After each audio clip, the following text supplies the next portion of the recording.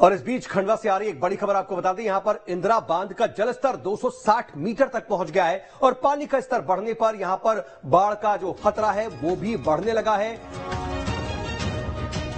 संकट गहरा सकता है, पानी बढ़ने पर इसके गेट भी खोले जा सकते हैं। बाँध प्रबंधन ने इसको लेकर के अलर्ट जारी किया है। खंडवा में भारी बारिश की वजह से दरअसल इंदिरा सागर बाँध का जलस्तर 260 मीटर तक पहुँच गया है। इसको देखते हुए बाँध प्रबंधन ने सूचना जारी की है कि अगर बाँध का पानी 260 मीटर से ज़्यादा हो जाता है तो बाँध का गेट खोला जा सकता है।